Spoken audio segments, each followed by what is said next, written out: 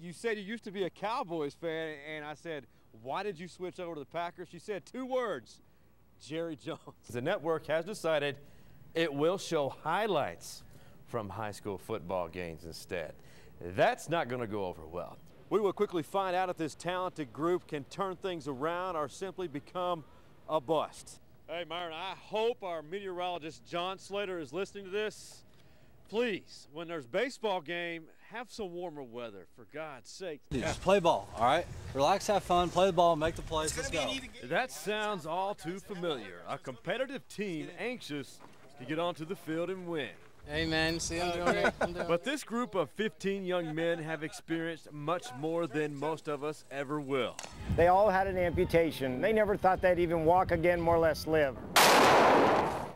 Fighting on the front line in Iraq was the cause of the loss of limbs, eyelids, and other severe injuries.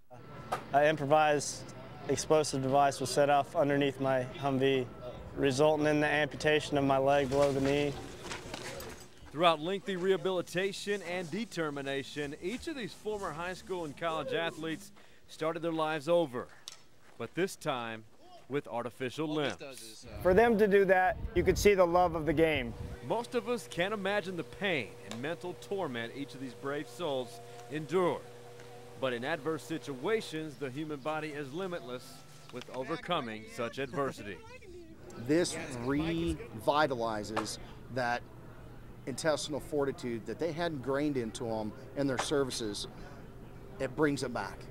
Now, this is amazing. Throughout all those traumatic experiences and the major injuries suffered, these young men find happiness, the therapeutic experience of playing softball together. And the funny thing is, when you walk into their dugout or meet them out in the parking lot while walking into the softball stadium, it's like walking into a locker room, just ragging on each other out of fun. Yeah, this is Saul. He's he looks like a quiet guy, but boy, does this guy got a big head on his shoulders. This guy is. On the field, they may not be perfect, but these wounded warriors are perfect in representing the red, white, and blue.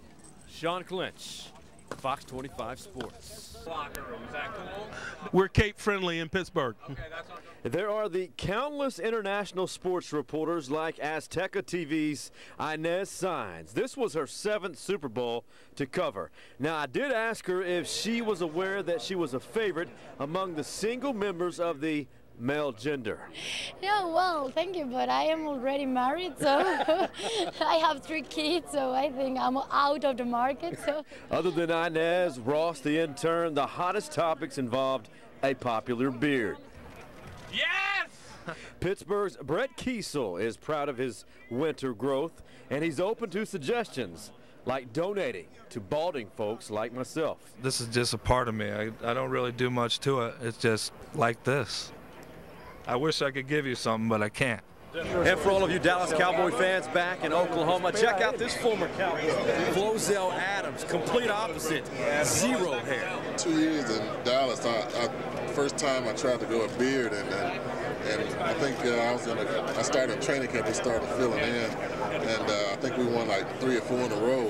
And I'm like, man, this thing is itching. I'm getting tired. I was about to cut off. They're like, no, don't cut it off. Now the icing on the cake was running into this former OU All-American. It's Gerald time, everybody. Gerald McCoy was hanging out with Chad Ochocinco, and he was overwhelmed by the abundance of attractive media members. I get starstruck. I love, you know, women. Oh. I'm just saying. I'm just saying. Shawn Clynch, Fox 25 Sports. Heritage Hall hosted Holland Hall in a scrimmage. The Chargers have some big names, but this guy may have the best name in all of Oklahoma.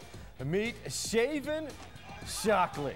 Look at this great name, some skills, and apparently he's fast. Shockley took Sterling Shepard's screen pass to the zone. And here is the mandatory Barry Sanders Jr. highlights. And he says, I'm coming right in your living room. And he slows it down. There's no need for a score because it's just an appetizer before the actual season. Good Friday to you. If there is one group of Sooners who are underappreciated or haven't received a lot of love. It has to be the defensive tackles.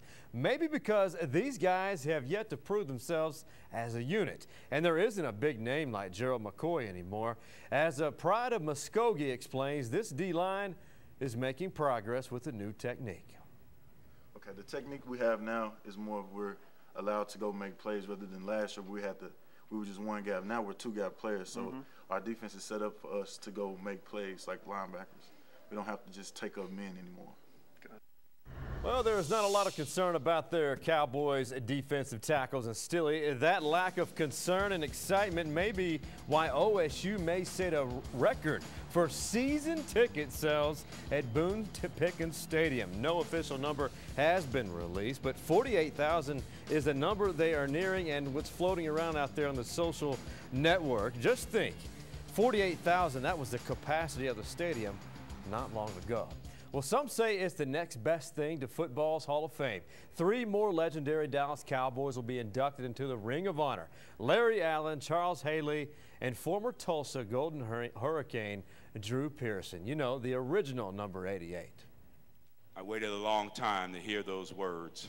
The Time Warner cable has yet to negotiate, and if, you, if you're not aware, Time Warner does big. not back down. They, they, they cut off a local affiliate there in Austin because their company wanted to negotiate a lower price. Didn't happen. They cut Don't off they have a, a big new a big building that, that, that they've already it's about a block away really? from the campus. Well, maybe they'll put up, they'll, sit, they'll sit on the top.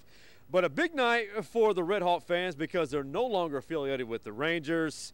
But the bad thing is uh, with the Astros, there are a lot of people on the Astros squad that these fans don't have a clue who they are. And this is pretty much how the fans reacted to seeing their new parent team for the first time. No, I can't. Uh, some of them, but not all of them, no. I don't really know any. That was the popular response when any of the loyal OKC baseball fans were asked to name any of the Astros. I mean, current, not the killer bees of the past. Can you, can you name me three Astros starters in five seconds? No, I can't. Carlos Lee, Bud Norris, Jason Michaels. Uh, we get J.R. Towles. Now that doesn't count. He plays in the Astros organization. Hunter Pence. Hunter Pence. Yeah, Hunter Pence and Carlos Lee are the two Astros the fans are familiar with. Now, when asked about the other Astros, you will receive some, I don't know, shrugs. Well, that's because the Astros are going through a youth movement. We're, we're, ready for, we're ready for the new guys. You know, got to take care of the new guys. So. Regardless of recognition, the autograph seekers waited patiently, and some received a signature from the Astro they all know too well. Mr. Pence. Carlos Lee, Jordan Lyles is a prospect coming up. As for recognizing this group of Red Hawks, well, it's a laughing matter. but there's good reason for that. This team used to be members of the Round Rock Express before the affiliation of the Redhawks changed from the Rangers to the Astros. List. There's no list on any of the any of the Redhawks that we put out that I know about. And as for the game today, the Redhawks, the now Astros AAA club, well, they put up a good fight. A two-run bomb in the bottom of the first inning, tied it up at two. The Astros outslugged the Red Hawks tonight 9 to 6. I had a Mr. Clemens sighting. Roger Clemens' oldest son, Koby, on the Astros roster. He is expected to be on the Red Hawks roster. So, Roger Clemens' son, you can come out and see him. He is listed at first base. Myron, you missed a cold one. All right, thanks, Shawn.